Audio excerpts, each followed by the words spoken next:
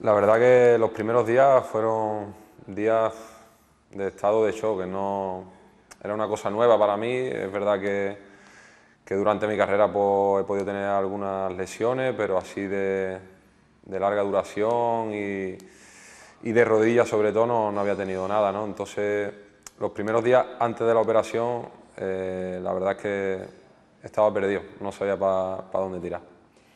Yo ya de por sí, eh, en el primer, vamos, en, en, el, en la acción de, de, la lesión, supe que pasaba algo porque yo de por sí no me suelo tirar suelo, no me suelo quedar en el suelo, casi que me da vergüenza estar en el suelo.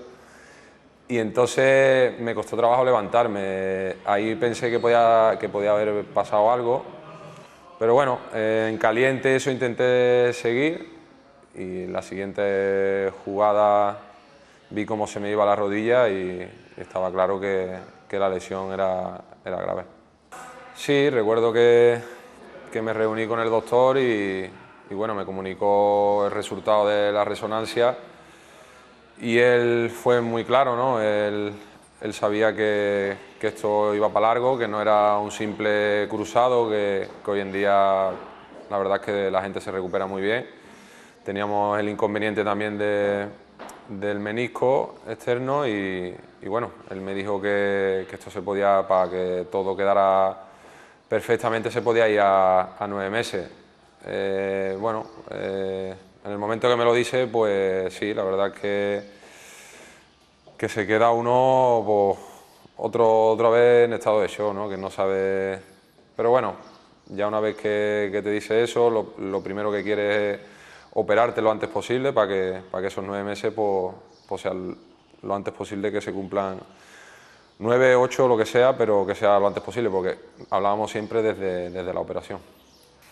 El hablar de recortar plazo al final sería engañarme a mí mismo y, engañar a todo el que me escuche. ¿no? Eh, yo creo que al final tú tienes que seguir por los pasos que te van dando cuerpo médico, fisio, recuperador, y yo creo que eso son sensaciones, ¿no? Cada cuerpo es un mundo y, cada cuerpo pues, recupera de una, de una, forma, de una manera.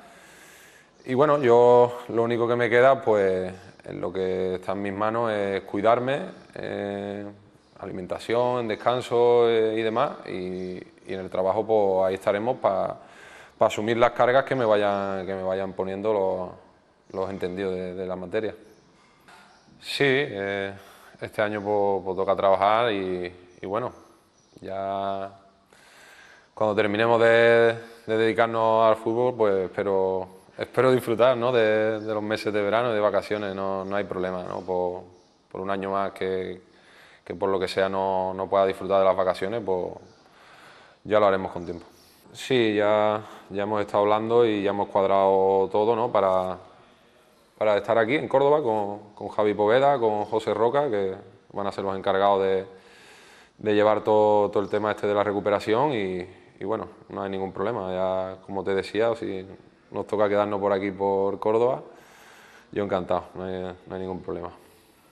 Sí, bueno, por suerte, tanto yo como compañeros que, hay en el vestuario, ¿no? pues ya llevan un tiempo en esto y y sabemos de, de, qué va, ¿no? Entonces, pues, pues sí, eh, cada uno en su faceta o en lo que le corresponda, pues intenta ayudar en lo posible, ¿no? En este caso, pues como bien dices, pues, pues sí, eh, el tema ese, pues intentar a la gente que, que son más, más nueva, más joven en el fútbol, pues intentar meterla, también observar a los compañeros, ¿no? qué es lo que necesita cada, cada, compañero. Hay gente que necesita que le den caña, otro que, que, le den cariño, entonces pues un poco eso, ¿no?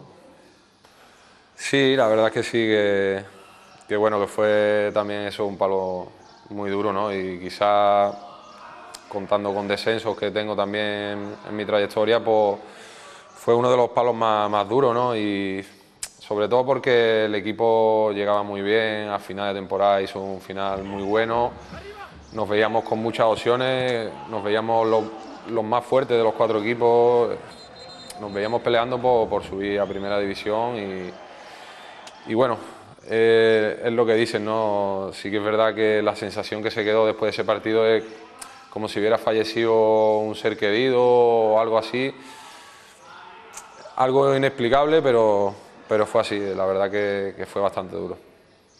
Yo creo que ahí está la, clave de, una posible salvación, ¿no? El, el ser consciente de que dejas de pelear por un objetivo y el objetivo es otro, ¿no? Si, en tu cabeza sigues pensando en ganar tres partidos para ponerte arriba, cuando solamente puedes disputar uno el domingo y, es el más inmediato y el que, el que importa, yo creo que ahí está la clave, ¿no? El saber, pues, pues eso, ¿no? El, saber que las cosas no han ido bien, que, que nos hemos visto en una situación en la tabla que no era la la que nadie quería, pero, pero que al final es la que, la que era. ¿no?